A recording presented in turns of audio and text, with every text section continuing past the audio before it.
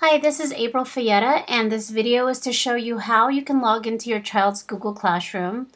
So their login is their first initial, their first name, the first three letters of their last name, and the last four digits of their six-digit student ID, followed by at stu.gusd.net, and it's all in lowercase. The password is GUSD followed by their 10 digit California testing ID with an exclamation mark. Now, what you're going to do is you are going to log in as your student, as your child, as if you were logging into an email.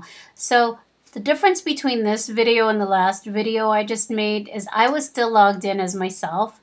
So what I'm going to do is sign out of this account and all of my other accounts. And then I will log in so you can see what it looks like when you log in as your child. So we'll close everything down. Um, I will use another account and it's just like you are logging into Gmail, but they don't have an email address associated with their student account. And hers pops up because she uses it quite often. Now this part you have to put in really slowly because if you mess up more than three times, you'll get locked out. So remember it's GUSD followed by the 10 digit student ID, the testing ID.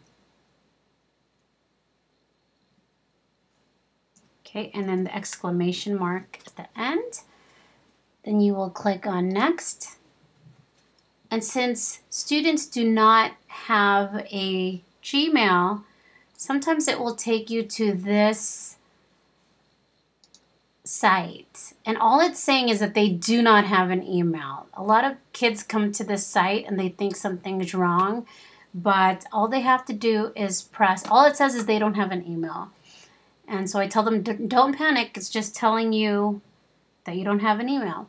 So go to Google Home, click this right on the bottom right says Google Home. It will take them to this page.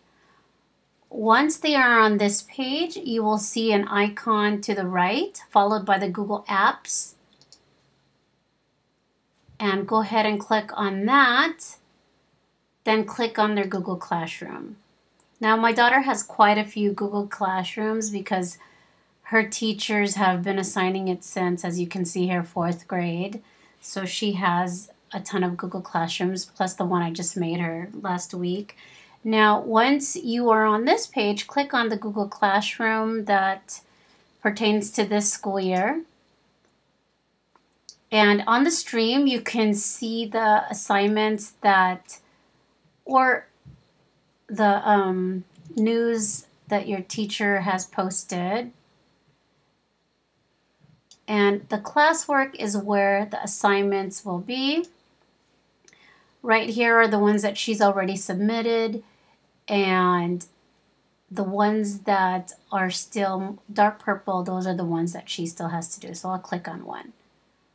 So she has to watch these videos, write a brief summary, this is one I assigned for her. So she would um, do that, then turn it in. Or sometimes teachers just post announcements and just to keep in contact with the students. Okay, I hope that helps and that you can sign into your child's Google class.